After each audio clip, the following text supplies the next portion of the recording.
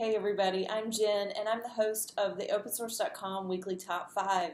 This is where I bring you the best articles from the past week. There's an article on the site every Friday and there's this video on YouTube, on our YouTube channel every Friday. I encourage you to subscribe and um, get an alert when we upload a new video.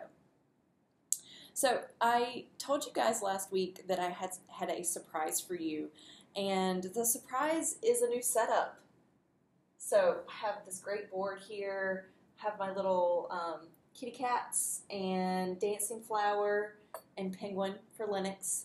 And um, I'm going to be um, using some notes here. Um, and I'm going to try to look up at you guys as much as I can and reference my notes as little as possible. Um, but, you know, it's a learning process. So stick with me. Hopefully it'll be fun. I won't have too many ums and ramblings. Um, so, I have some updates for you first. And the first update is All Things Open. I have my All Things Open t shirt on here from last year. Um, the little space dude is the mascot of All Things Open. Um, and then I have All Things Open up on the board. The conference is going to be from October 18th through the 22nd in Raleigh, North Carolina, where it is every year for the past few years since it began. Um, this is an open source conference that talks about open source in technology, open source beyond technology, communities, design, software, um, um, content management systems, all kinds of stuff. It's a super fun conference, and I am actually looking out at the Raleigh Convention Center right now where the conference is going to be hosted. So it's a great time. Raleigh's a great city. Um, most of the opensource.com staff is in Raleigh, so we go every year. We'd love to see you. Please drop us a line if you're going to be there, and we might be able to meet up with you. I got this great watch from the SparkFun folks a couple years ago at All Things Open, and really neat connections like this happen. It's just you meet some neat people, and um, all kinds of different folks are there, so check it out. The other update that I have for you is that open source hardware um, content theme begins next week. And so what that means is that every day next week, um, opensource.com is going to be publishing an article about open hardware. So we run these themes every week about a different topic. And during that week, or that two weeks, depending on the theme and um, what we have planned, we run an article every day. So I would suggest that if you want to stay up to date on the newest articles, um, be alerted that we have a new article. I would follow us on one of your preferred social media platforms. We're on Twitter, we're on Facebook, we're on um, G we're on LinkedIn.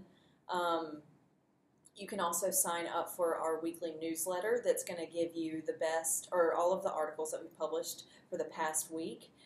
Um, I think, or most of them. So, anyway, sign up for one of those great ways to basically just stay in the loop and, and find out about the content that we're publishing.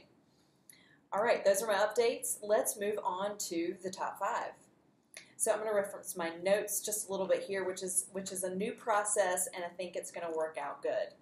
Um, our first article at number five is Open Source Has to Be More Than Linux. Jono Bacon writes for his column Six Degrees, this time about the meaning and implications of openness. One of the many quotes that grabbed my attention from this article, it's a great thought piece article, is this is this quote here. Whether it was Linus Torvalds' first kernel, the first incarnation of Wikipedia, the first Raspberry Pi board, or anything else, the world's greatest innovations all started with that one person just making something. What transforms a hack into something with potential is that it is one, shared freely, two, formulated with free tools that anybody can access, and three, invites participation from other people who can make the hack better. Great quote, great article, check it out. At number four, three big lessons I learned from running an open source company. So this article is written by Grant Ingersoll, and he is the CTO and co-founder of LucidWorks, a venture-backed open source company, and Grant writes about his experience running and building LucidWorks from the ground up. In this article, he gives tips on what to sell, when support is necessary, and how to manage the community. At number three, why tools like Docker, Vagrant, and Ansible are hotter than ever. Greg DeKoenigsberg is the vice president of the automation tool Ansible. And in this article, he writes that tools that allow people to speak the same language are seeing the most success right now. Read more about the success of Docker, Vagrant, and Ansible in this article. At number two, practical Python programming for non engineers. Al Sweigart is a software developer and tech book author who writes that just because we're surrounded by computers doesn't mean the average person needs to be able to reprogram their smart fridge.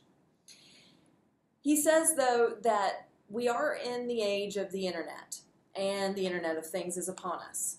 So, if we want to be able to customize that stuff as this age appro- approaches, it might be good to know a little bit of programming, even if you're not a programmer, even if you're not a non engineer like me.